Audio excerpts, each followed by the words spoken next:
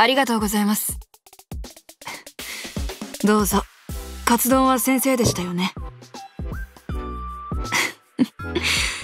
確かにカツ丼といえば刑事ドラマの取り調べですね。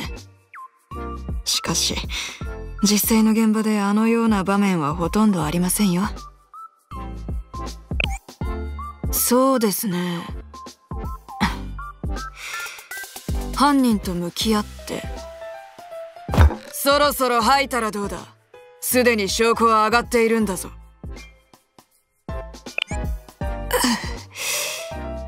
本気を出しすぎたでしょうか？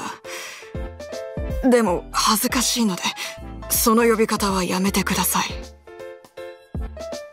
先生一杯いかがですか？